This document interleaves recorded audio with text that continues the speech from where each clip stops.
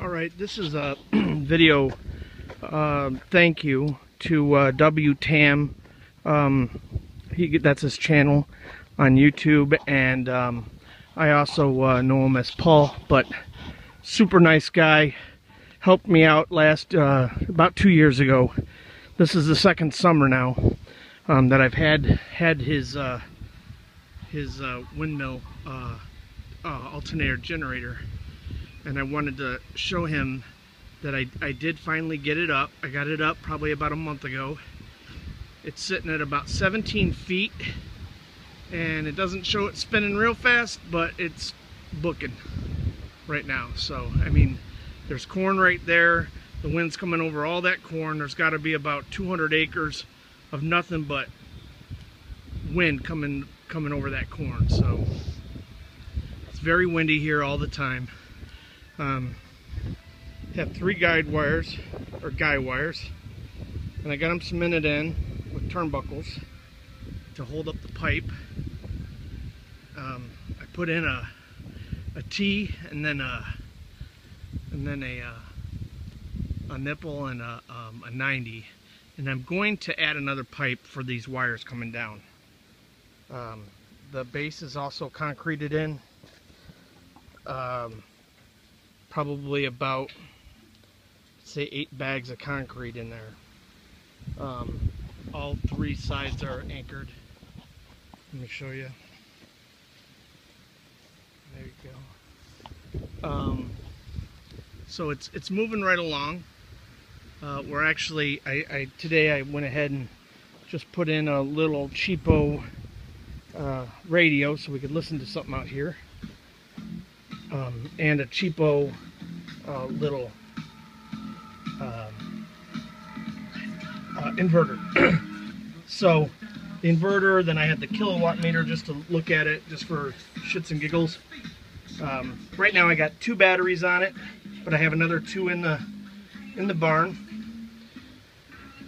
This is the the uh, charger for the um, uh, Missouri Solar Wind uh, Missouri Solar and Wind.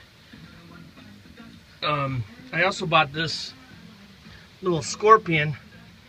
It's supposed to tell me the volts and amps coming off of the windmill. At least that's why I bought it.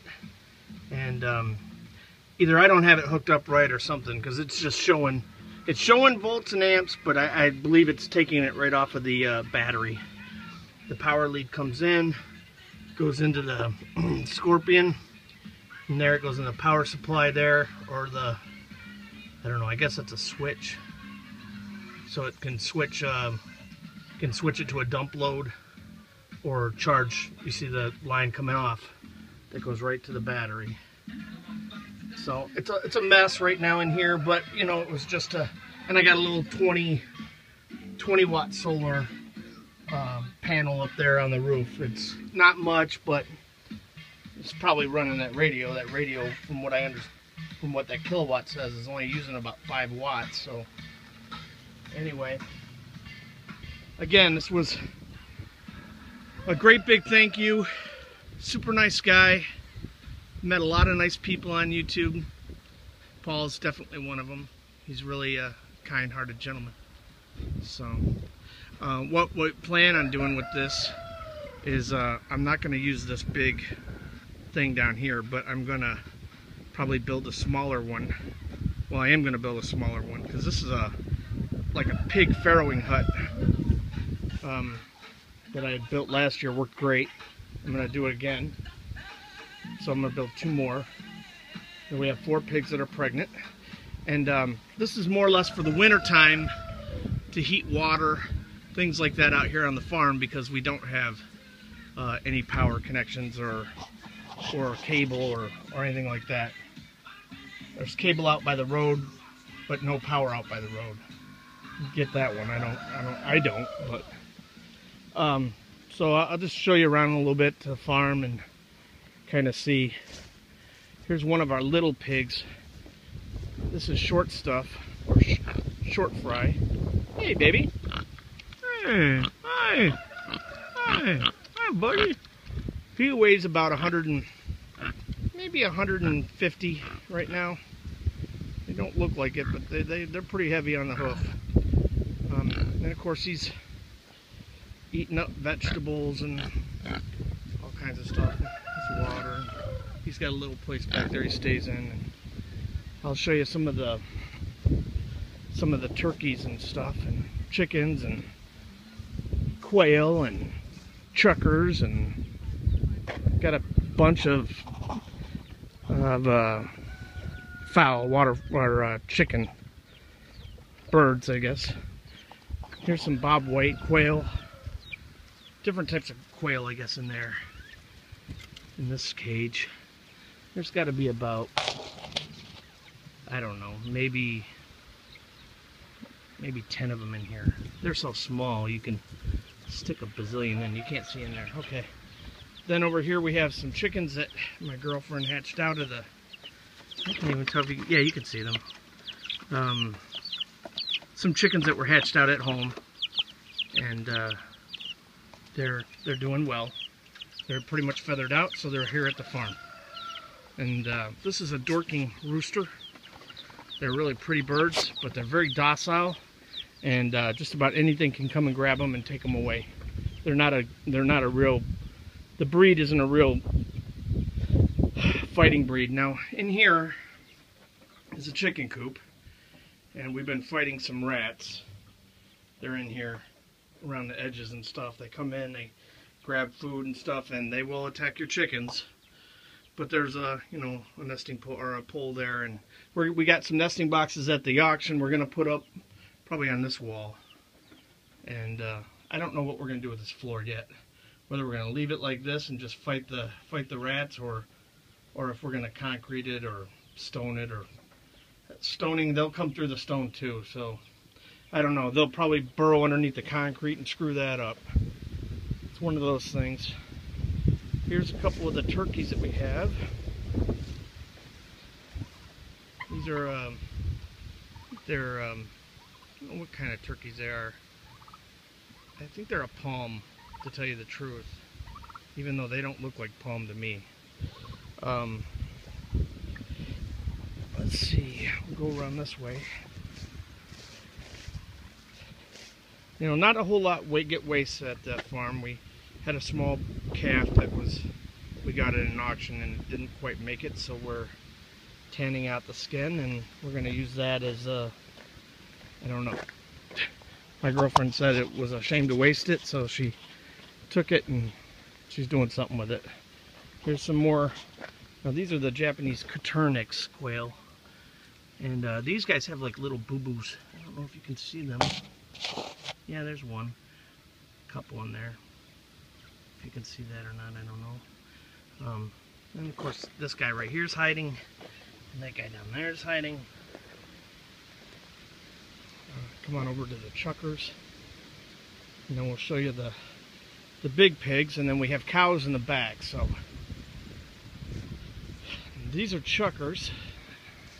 and I guess around here if you if you put them out on the ground they get some sort of a worm that affects their brain or something anyway that's what we've been told if anybody knows anything different on it please let me know we live in uh, upstate New York uh, around the Rochester area. So um, that if that helps geologically uh, to know whether they would get a brain worm or not, I don't know. Um, then back in here, I'll show you, but I'm not going to go too close. That in that corner is a guinea, a guinea hen, and she's laying on a bunch of eggs, and hopefully she'll hatch those out. But we'll see. My girlfriend's got uh, some of the eggs at home. She's been hatching them out in the uh, incubator at home, and it seems to be working pretty well. But I'd always rather have it naturally done than than uh, than us doing it. And I don't know if you can see him, but that's her boyfriend way over there. Uh, I don't know if you can see him or not. He's got the white head. Let me see. Can I zoom this? I don't think I can zoom it. I'm going to go over there and show you though.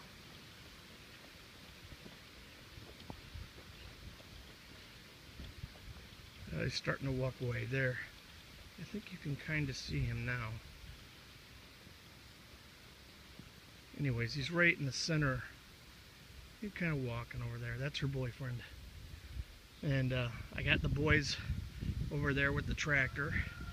And we're making a tire hut for the pigs because uh, we have four of them pregnant. And we're going to make a tire hut for, uh, for birthing. Then I have the one that has the batteries in it. And we got to make two more. That is one of the pigs over there eating. She weighs about 600 pounds. So, let me show you over here now. Got a lot of roosters around here. The other thing I bought at the auction was one of those defeathering things, so that should help with some of the rooster population. Just use them for food. And that's that's baby right there. She's pregnant. She's gonna probably drop here pretty quick. And that over there, that big guy is called Rexter. And um, that's kind of muddy, sloppy right there. I don't want to walk through it, but anyways, that girl right over there is Beulah. So, take you over here. I'll show you Mama. Mama's so cool. we'll go say hi to Mama. But anyways, like I said, I wanted to thank uh, WTAM again. Uh, just, you know, really, really started me off in this. I was talking to him two years ago about maybe if he knew something, and and he said he didn't have a whole lot of wind by his house, and that if I wanted that, he would send it off to me, and by God, he did. Tell you what, really got me into thinking about alternative energy, and you know, and here at the farm, whoa, there's. I was just showing you little pigs, but they must have got scared. I moved my hand too fast. Hi, baby. Hi. So she's back. And there's the other one. I don't know, something spooked him. All right, so Mama's making you a new home. So, especially with, uh, you know, just trying to heat up a little water. And I understand that it takes a lot to heat up water. Though, you know, the elements heating water is, it's hard. Where'd she go? She was, oh, she's over here in this pit now. Let me go say hi. We, uh, we're feeding them right now. They just had some bread and they get about, I don't know, geez, 18 times 5 boxes of bread. We have food brought in. The, uh, the uh, stores, when their bread and stuff starts to go bad, um, made a deal with them that we would take it all. Um, and then they don't have to uh, put it in a landfill. But there's Mama. She's a big girl. She's getting close. Hey, Mama! Hey, Mama! Hey! Hey! Hey! Hey! Good girl. Good girl. Good girl, yeah. Okay. And this is Bertha. Now, I didn't name Bertha or Beulah. Those two names came with them when we got them. We picked them up in Minnesota. So, I want to talk about someplace cold. I lived in upstate New York. I thought it was cold. Ain't, ain't nearly as cold as Minnesota. And there's Beulah or uh, Bertha. I can't even keep those two. They look just alike, so. And then this is Bacon Bits. This guy is one of my favorites, but he has not been proven to. He's proven, but he hasn't. He just doesn't throw. So far, with the girls that he's gotten pregnant, they only throw about eight, eight babies. Hi, buddy. Hi. Hi. Uh, he weighs probably closer to about seven, 700. And these girls weigh about six apiece. Maybe five to six. She weighs six easy. So, and uh, we have about an acre or so fenced in here. And this is all done uh, with uh, T-posts and hot wire and the hot wire is done with uh, solar. We, we run all of our hot wire on solar, and it has worked out wonderfully for about the last two years. The only problem is, is during the summertime, I mean wintertime, uh, the wind, the the snow will ground down the fence. So this is one of the things that we're doing this year is we're going to put them into huts within the fence um, and and uh, and fence them in within the fence. And then we're going to uh, um, you know when when the snow flies obviously the, the electric fence on the outside will be grounded but they'll be in a fenced in area. And then when the snow starts to melt we'll get back out clean up around the fence and um, go ahead and let them back out into their field. Um, we just had all this cleared uh, with a dozer. So it's about an acre or so that's cleared up. That's another little hut that they had last year. It's a top of a truck. It's that hood scoop so that they get better gas mileage. So we used those last year. I don't know if we're going to use those this year or not. They worked okay, but just okay. So we got to get the, get in there and burn all that. And, and uh, you guys want to be on YouTube? What? Huh? What? No? No. All right. All right. Well, in here we're going ahead and putting all this together. We're going to have, this is a second layer. I did the first layer last night. Got the boys doing the second layer. And uh, probably got to do at least two more layers, maybe even three. So this is the second. Still working on it. They'll be here probably most of the day doing that. So, and we have the tractor to be able to scoop out. Took the topsoil off, off the top of the ground, then I'm scooping out the, um, that's more of a sand clay mixture down below. And that's what they're packing into that. So, come back over here. I can show you the uh, the electrical solar part, which works really nice. So, anyways, it's attached ground. That lead right there, right there is the ground, goes down into the ground and that lead right there goes to the wire and then they're all attached. And they do need to be tightened up I see right now. But we're getting in and out of here with the tractors and stuff like that so I'll just let it go for right now. But before I leave I got to. So I'm gonna turn it off for a second and I'll, I'll turn it back on when I'm down there by the cows